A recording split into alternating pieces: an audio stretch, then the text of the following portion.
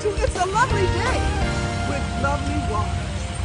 It is a new day, but in spite of the evils of this present world, God is faithful. You know, David said in Psalm 34, I will bless the Lord at all times. His praises shall continually be in my mouth. May God bless each of you in Jesus' name.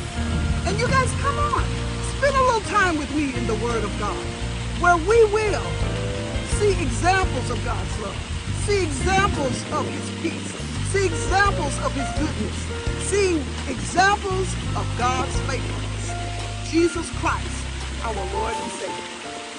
May God bless you again. In Jesus' name. Come on.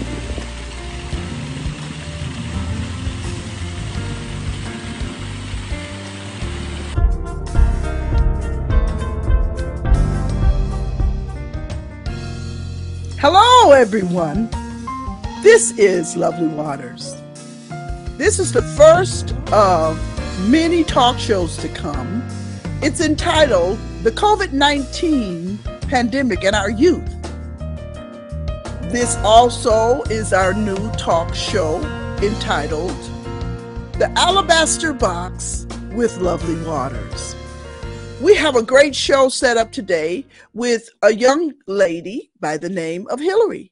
She's 16 going on 17 within just a few days from now. Welcome, Hillary. Thank you for being our guest today. Of now, course. we'd like to begin. Excuse me? Oh, I said, of course. Yes, yes. We're so happy you're here. Now, what we would like to do is ask you a few questions, uh, and we'd like to uh, just kind of just briefly go over a few, uh, a little bit of history. Now, we know that um, we have been inundated with the words COVID 19 pandemic, right? All right. But nevertheless, we want to uh, also uh, share that, you know, some history about it. The origin of uh, this pandemic was said to have begun in Wuhan, China and it was in December 2019. However, China only reported this uh, horrific uh, pandemic. Uh, in 2020, uh, they only went public. They went public in 2020, uh, January the 12th. And they referred to it as a novel coronavirus. Uh, it was said to have been severe acute respiratory syndrome, coronavirus 2. It is reported that uh, 61 million people even died to date in 2023. So COVID is still alive and well. The total came to around 109 billion overall. So we uh, again um, want to ask you, Hillary, as a young person as a member of our youth population, how did it affect you? Um, it affected me socially to a certain degree. Um, and also in terms of my personality too, I'd like to say, because I feel like without COVID, I wouldn't I wouldn't feel so like distant from certain people or sometimes socially awkward because wow.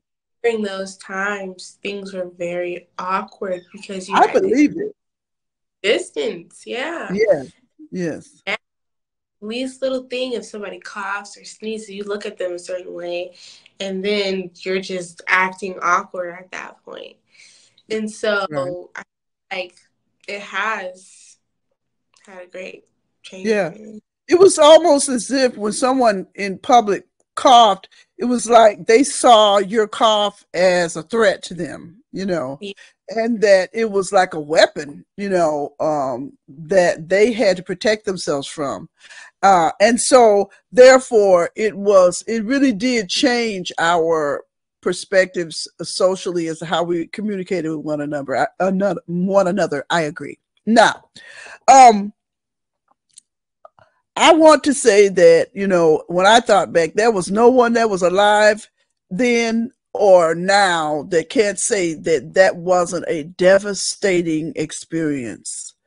Um, uh, did you have family members contracted? I did. My mother and my grandmother, and also uh, okay. Uncle Isaac.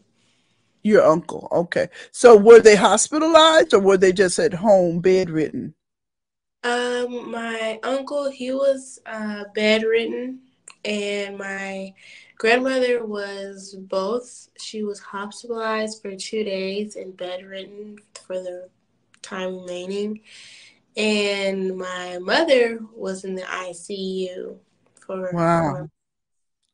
For how long? For I'd say two weeks, and then she was put in the regular emergency room for four months. Wow, I know that was hard for you, dear. I know that was hard for you. And then not only that, but you didn't have the ability to visit. Yeah, on top okay. of that. And how did you feel about that? It made me feel lost to a certain degree, and I couldn't like connect with her on the web on the level that I wanted to, that I knew that she needed, because you know a phone can only do so much connecting. Right. And right. I just I didn't feel entirely like I was giving my uh, entire 100 but that's all I could give. Okay. And that was true with everybody else too. Um also I want to move on. And also I wanted to say that uh ask you the next question were you fearful? I was. Okay. And what what why? I, I, know that sounds like a really ridiculous question, but could you expound on why you felt so fearful? I was fearful because I didn't want to catch COVID myself and give it to my other family members. I was fearful because my mother was in the ICU because of COVID, and I know mm-hmm. that every you watch the news, you go on social media, anything on your phone or even go out, it's all COVID related, and right. it would show the toll of um, how many people were dying, and. Okay. Scared me because I was like, "Oh wow, is this like the end times? Like, like, is this it?" Right. Yeah. A lot of people, I imagine, felt that way. Uh huh. Yeah. Okay. So I, those are the main things I was definitely worried about. Did you ever think to the extent that this uh, pandemic would just wipe out uh, the total population of the world? I know that's kind of you know extreme, but did that ever occur? to you? Everyone in the whole entire world had COVID. Yes, I thought that. It seemed like it anyway. That's true. Okay. Okay. Now, what was the social climate in school? Although you said that you was homeschooled or you were uh, working from home during that time uh, for for such a time, but then you eventually did go to school every day. And what was that like in terms of social dis dis? Excuse me, social distancing and also masking? Um, before we went back to school, being on school online, it was hard because it was hard for us to focus, knowing what was going on around right. us. Um, now, when we went back, you know, we couldn't social distance in the hallways because we had to transition to different classes. But in mm-hmm. class, mm-hmm. we sit like across from each other or at different tables, and it wasn't so crowded. The classes right. weren't as we would wear. They weren't the classes weren't as big. You say? No, they weren't. Okay, but um, now what kind of concerns did uh you have? Uh, when it came to, uh, did you have any friends that contracted it? I did. I classmates. Yes. Wow, that's really something. I did do a little research, and one of the things was that I found out, and that is that the data showed that uh, when it comes to youth between the ages of 10 and 19, it was less likely for them to, to contract COVID 19. Maybe it was their, you know, immune system. I do know that immune systems, you know, uh, weaken as we get older uh, and you get into the uh, older population, adult population. Nevertheless, um, I also wanted to say that did the crisis um, um, of this deadly virus draw you and your family closer to God? You know, since we are we are about uh, here at the at the Alabaster Box, we're we we deal with the issues we deal with as Christian people, and we look at it from a spiritual perspective, and try to be a witness or try to be uh, uh, have testimony of God working in our lives on a daily basis in a more practical way. So, did it bring your family closer together? Did it bring your family closer to God? And how so? It did most definitely bring my family uh, closer to God, even us individually closer to Him, because every night excuse me, every night we would pray and we would read our confessions or declarations with each other on the phone, even with my mother. And oh wow, with your mother in the hospital or just yes, in the hospital. Oh wow. Okay. So you guys called her and prayed over the phone with her. Yes. That was a blessing. I bet that really comforted her as well as you guys. And Especially that was Go ahead. I'm sorry.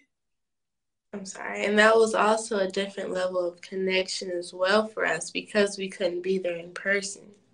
Right, right. That's what I that's what I was thinking too. So uh so what you're saying is that as a Christian family, it brought you and your family closer uh uh to yourself to to to one another as well as your relationship with God was was strengthened. So therefore, um, would you say that I don't want to put words in your mouth, but faith we know is the substance of things hoped for and the evidence of things that are not seen. And many times in life we come to different roads in life where the only way that we know that we're going to make it through it is by faith. So, uh, so what are you? So, how was your faith affected? It was tried most definitely because I think after my family members contracted COVID nineteen, I was like, like I was at the point where I was questioning God. I was like, why? Why did you let her get COVID? Why did you let her get put in the ICU? Like, why did you do all this? Why did you even let COVID become COVID? You know? Okay.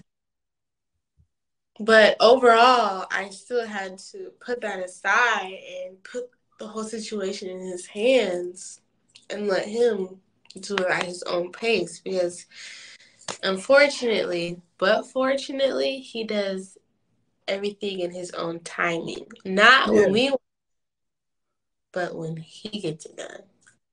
And not to mention the people that live, you guys, you know, that that you got your family, praise God, God saved you guys. You guys didn't lose anyone. So that is right there is a moment of, of, worship and praise that you that you can you you experience and that you can uh, have jubilation because God He honored the prayers you guys were having. So that's really a, a great testimony of faith and also God's faithfulness during this uh this terrible crisis uh and it's still alive today too so i don't want to act as if it was gone it's gone and that we're covid free what economic crisis did it create for your family, or did it uh, create an economic uh, crisis? Um. well, it did cause um, a problem when my mother got COVID. She lost her job. Because, she lost the job. Yeah. Why did they tell her that she was fired? Um, they had no reason. Well, was she? Oh, I, I assume that it was due to all of the lost days, the days that she wasn't able to come in to work. Um, no, she had uh, PTO. She had um, days off that she could take. She even communicated with her job that she was in the ICU. She had her doctor sign send in a form where she was at, confirming that she was there. Okay. Okay. Wow. Wow.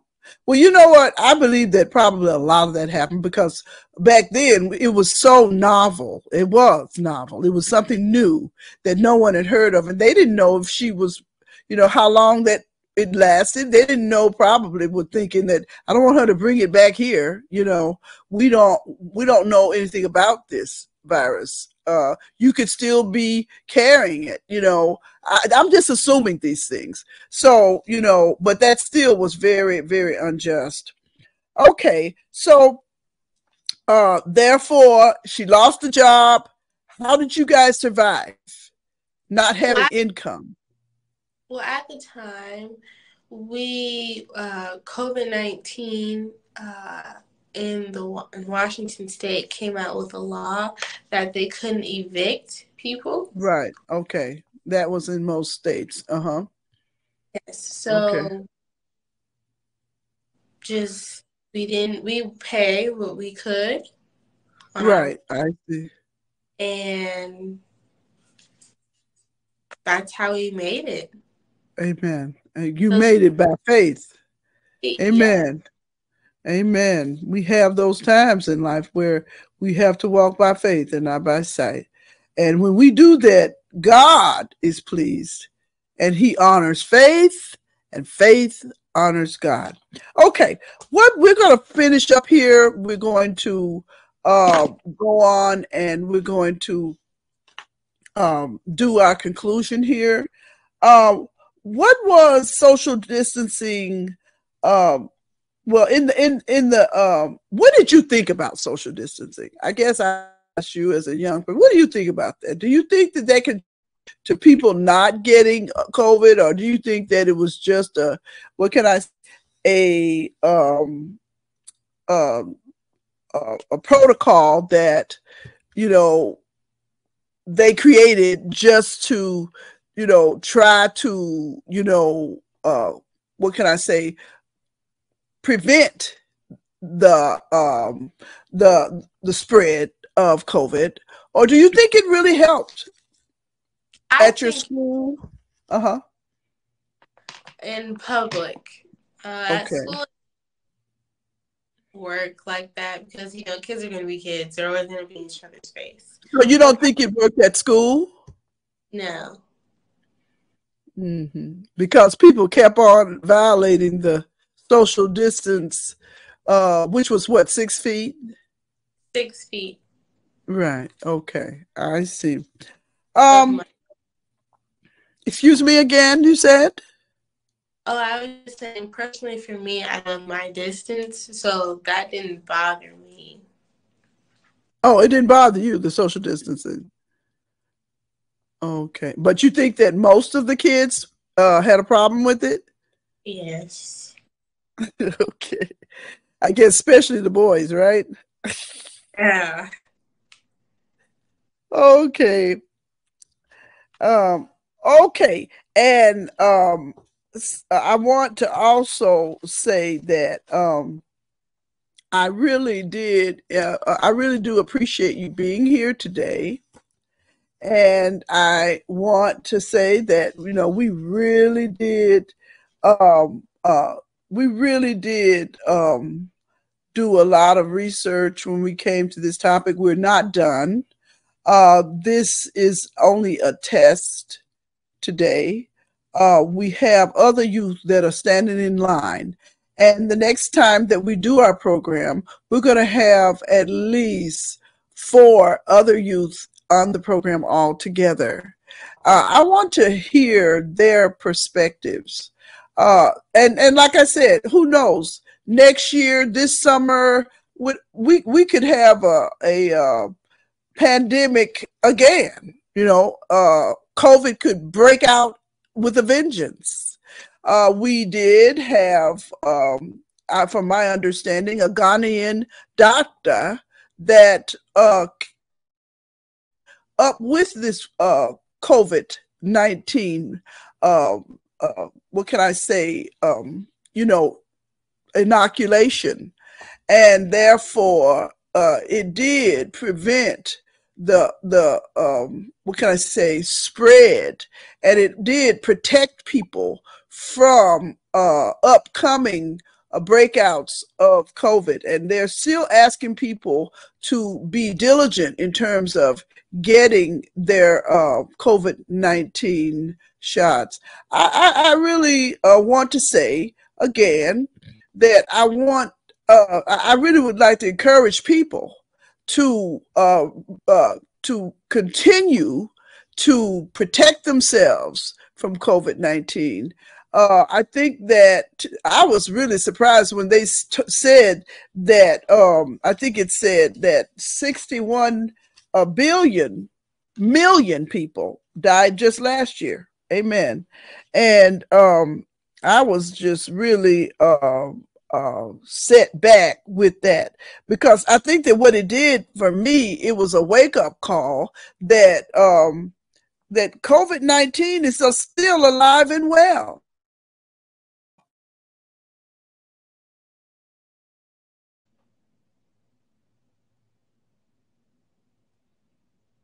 Grown man. Excuse me, we had some problems with our our reception here. I knew that we would have a little bit of problems with our um, our technology, but nevertheless, we're we're going to be soldiers. I mean, we're going to overcome our little tech problems, and we're going to keep going on because we have a great topic here: our youth and the COVID nineteen pandemic. Uh, I also want to say that um, uh, in our next program, uh, we're going to uh, look a little closer at some of the other uh, issues that were facing uh, our nation and our our, our youth during the pandemic. Um, I um, really am very grateful that you came to spend some time with us today, Hillary. Is there anything else you'd like to add to your experience uh, that is really heartfelt in terms of uh, looking into the future about uh, pandemic? Do you believe that the pandemic is something that was created by man, man-made, or was it something a pandemic uh, or a, a, a virus that was just naturally occurring? This was most definitely handmade. This you was, think so? Yes. Why do you think that? Um, based off of my research I've done down through the years of COVID, and I could tell a difference in the climate because I would see you know those planes that fly in the air and it's dropping something in the air? Those back then flew around a lot. Compared They're called chemtrails. Pardon? They're called chemtrails. Chemtrails. Mm-hmm. Well, you saw those more back then than you do now. Right. That's Very, true. That's true. I know I haven't seen one in quite a, some time. Exactly. And they could try to say, oh, we were trying to clean the air. No, that's not my theory. I think that they're putting it in the air. That's what they want us to wear masks. And then they try to try to act like it was coming from that one individual by having a social distance. Yeah, oh. but it was really in the air. That's what they wanted us to stay in the house. Okay, well, we're ending up right now and we're coming into our conclusion that um, COVID 19 and our youth is a very, very important subject. It's important for us to know how they felt about it. It caused a lot of emotional uh, types of responses, and we really, you know, it's so important to us for it should be as parents to guide our children through major crises like that. But in this, in the meantime, we want to thank you, Hillary, for coming with us. We want to say goodbye to you who came to spend time with us. And uh, we've got a great show coming up where we're going to have at least uh, three additional guests uh, uh with our youth. Pen, the pandemic and our youth. God bless you guys today. And we hope that you guys will return. And we're hoping that I will really have our tech uh, problems worked out because, you know, uh, sometimes it's like that. We have problems with our uh, technology, but we're working on it and we're going to get it down until it is perfect. Nevertheless, we thank God and we thank you. And we want to encourage you come back to the alabaster box and I also, uh, next week, I will be sharing more about what is, uh, we're coming out of the box. Okay. So you guys come and spend some time with us at the Alabaster Box with Lovely Waters. May God bless you.